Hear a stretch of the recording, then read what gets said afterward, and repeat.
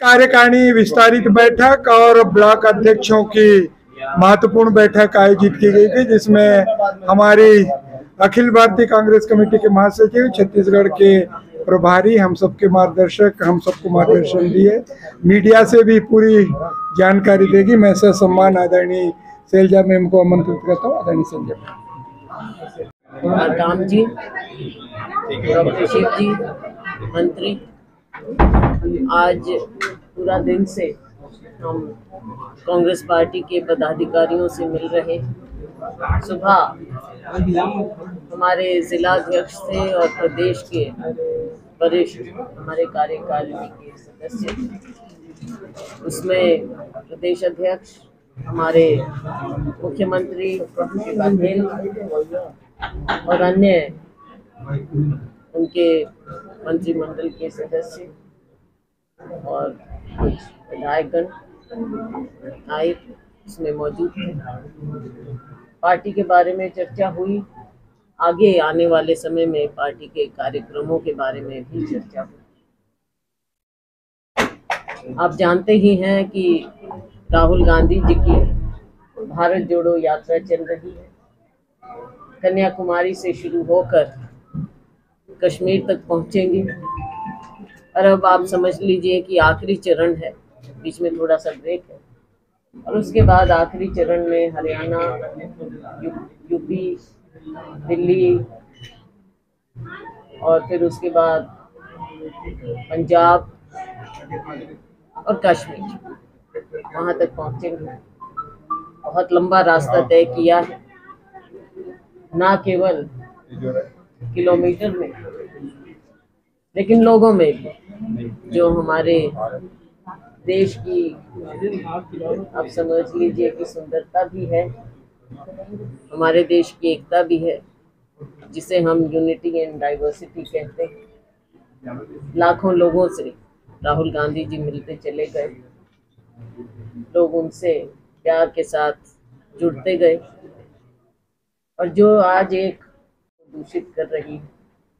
उसके खिलाफ देश में एक प्यार का और सौहार्दपूर्ण वातावरण पैदा करने के लिए फिर से जोड़ने के लिए राहुल गांधी जी निकले हैं ये मकसद लेकर। ये हज़ार करोड़ों लोग उनके साथ जुड़े।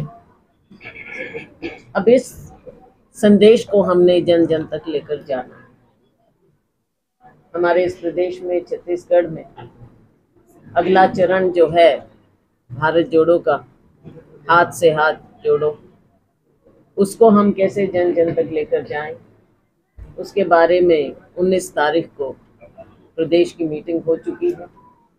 रूट बन चुके हैं और 26 तारीख से 26 जनवरी से अगले एक दो महीना में हम हर बूथ तक पहुँचे, हर घर तक पहुँचे। उसकी पूरी रूपरेखा बना ली गई इसके अलावा इसके अलावा कांग्रेस का अधिवेशन होने जा रहा है, क्योंकि अभी हमारी पार्टी के चुनाव हुए हैं और पार्टियों में तो आपको ऐसा देखने को नहीं मिलेगा। लेकिन हमारी पार्टी में लोकतांत्रिक पार्टी है, चुनाव होते हैं। हमारे नए अध्यक्ष बने हैं, श्री मल्लिकार्जुन जी खारगे और कांग्रेस पार्टी का प्लीनरी सेशन होना है। दस हज़ार से ज़्यादा डेलीगेट आएँगे और हमें खुशी है कि रायपुर में ये ये पहला ऐतिहासिक महाधिवेशन होने जा रहा है और यहाँ के लोगों में बहुत उत्साह है इस महाधिवेशन के लिए। इसके अलावा बहुत से मुद्दे हैं। यहाँ पर हमारी सरकार है, कांग्रेस पार्टी की सरकार। और इतने पिछले चार साल में रही है, मुझे नहीं लगता कि आप पूरे देश में देख लीजिए किसी और राज्य बल्कि और राज्य भी सीख ले रहे हैं छत्तीसगढ़ से। यहाँ के लोगों के बीच में, यहाँ के लोगों की ज़मीन के लोगों की प्रतिभा को उजागर करना, यहाँ की संस्कृति को उस पर गर्व करना। हर तरह से यहाँ के लोगों को एक नया गौरव प्रदान किया है हमारी सरकार ने। हमें खुशी है। अनेकों स्कीम है जिन्हें लागू किया गया है। वो भी जन जन तक पहुँची है और उसे अब कांग्रेस पार्टी भी जन जन तक पहुँचाए। ये कार्यक्रम है। एक बहुत अहम मुद्दा है आरक्षण का, जिसके बारे में कुछ भ्रांतियाँ पैदा की गई। एक समय था जब इसको लागू करने की बहुत तत्परता थी। आश्वासन भी दिया गया था कि अगर राज्य सरकार इसे लागू करती है तो उसे जल्दी ही अंतिम रूप दे दिया जाएगा। दुख की बात यह है कि माननीय राज्यपाल ने अभी तक उस, उसको स्वीकृति नहीं दी। उसको पेचीदा बना दिया गया है। क्योंकि ऐसा होता नहीं ऐसे कार्य में अगर कहीं और से तारें खींची जा रही हैं राजनीतिक रूप से तो ये छत्तीसगढ़ के लोगों के लिए बहुत ही दुर्भाग्यपूर्ण बात है। ये वही लोग हैं जो एक समय में कहते थे कि कोऑपरेटिव फेडरलिज्म होना चाहिए।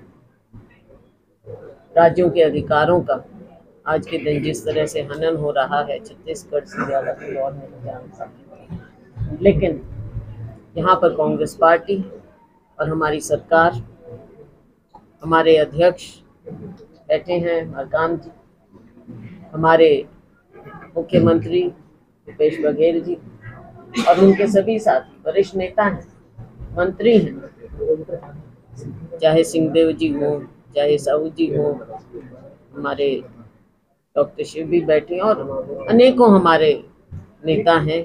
पुराने हैं, दुबे जी हैं, बहुत से नेता हैं, कुछ सब सब तो सबने कार्य किया है और आगे मिलकर हमारे नेतृत्व, सोनिया जी, राहुल जी, खड़गे जी के नेतृत्व में यहाँ पर फिर से एक बार मजबूती से हम चुनावी मैदान में उतरेंगे। और मैं पूरे विश्वास के साथ कह सकती हूँ कि जिस तरह के कार्य हुए हैं और हमारी कांग्रेस पार्टी की यह मजबूती है हम अगला चुनाव जीतेंगे और फिर से यहाँ पर हमारी सरकार अच्छा ये बैठक हुई आपकी लगातार शिकायत ना मंत्री सुन रहे हैं ना विधायक सुन रहे हैं। आने वाले दिनों में चुनाव है। कैसे सबको साथ लेकर चलेंगी आप? ऐसी बात नहीं है और इतनी शिकायत की भी बात नहीं थी वो भी सबने माना। देखिए मेरे सौ काम हो सकते मेरे निन्यानवे काम हो जाएँगे। एक काम नहीं होगा मुझे उसका तो रंज रहेगा तो बात ये नहीं है, ये क्योंकि पार्टी का फोरम था। इसलिए, और हमने भी उन्हें कहा, हमारे ब्लॉक अध्यक्षों को, जो भी बात है, खुल कर कहिए। मैंने पहले कहा कि कांग्रेस पार्टी ही ऐसी पार्टी है, जहाँ पर हमारे लोग कांग्रेस के, कांग्रेस जन अपनी बात खुलकर कह सकते हैं। और हम सुनते हैं, हम किसी की जबान बंद नहीं करते। हम उनके अधिकार नहीं छीनते कि आपकी जबान बंद रखी और कुछ मत बोलिए और सब कुछ बढ़िया चल रहा है। सब कुछ ठीक चल रहा है और उनके कारण ठीक चल रहा है। और वो आगे भी कार्य करेंगे। पूरा आश्वासन देकर गए। किसी का कोई काम हो सकता है। उसको हम देखेंगे। ऐसी कोई बात है नहीं कि कोई नाराज़गी वाली बात हो।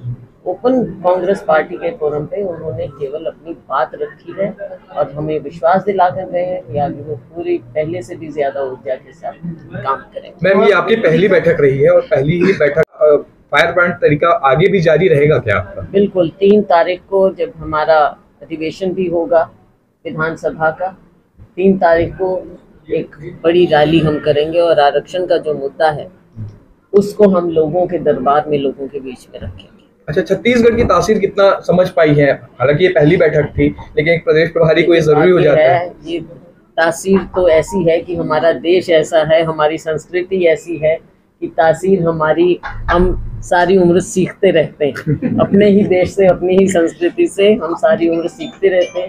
यही तो ब्यूटी है सीखेंगे और जानेंगे और लोगों के बीच में हम ठीक है टिकट वितरण को लेकर 50 साल की कैपिंग रखी गई है। किस तरह की रणनीति रहेगी? क्योंकि संकल्प शिविर में ये निर्णय लिया गया था। आने वाले समय में हम और नए फ्रेश चेहरे उसमें देंगे और जो कार्य कर रहे हैं ज़मीन पर उनको भी मौका देंगे हर तरह की बात होगी है। समय पर प्रदेश की जब कार्यकारिणी होगी इलेक्शन कमेटी होगी सब लोग मिल बैठ कर फैसला करेंगे। ये माना जाए कि टिकट कटेगा कोई नहीं? समय बताएगा।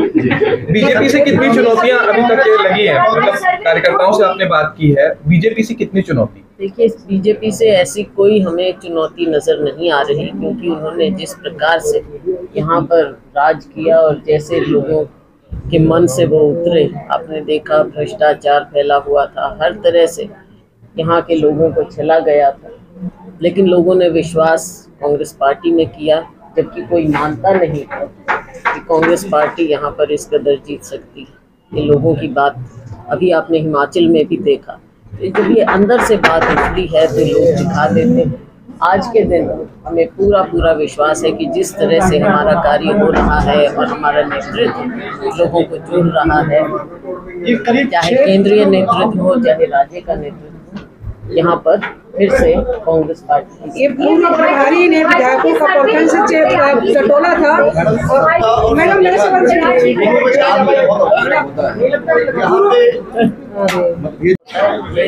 हर जगह थोड़ा बहुत सबको लगता है। अब जैसा हमारे अध्यक्ष जी कहते हैं, पाँच भाई होते हैं, सबको बराबर हो नहीं तो ये कोई ऐसी बात नहीं है। हम एक ही परिवार का हिस्सा है।